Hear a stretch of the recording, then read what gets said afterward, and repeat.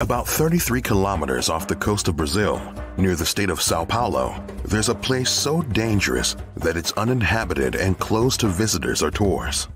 Ilha de Queimada Grande, also known as Snake Island, is only 430,000 square meters, but it is home to a lot of danger. It's estimated that there is at least one snake per square meter, and about 4,000 of them are golden lancehead pit vipers. They're one of the deadliest snakes in the world. This place is feared even by local residents, who tell stories of people going to the island but never coming back.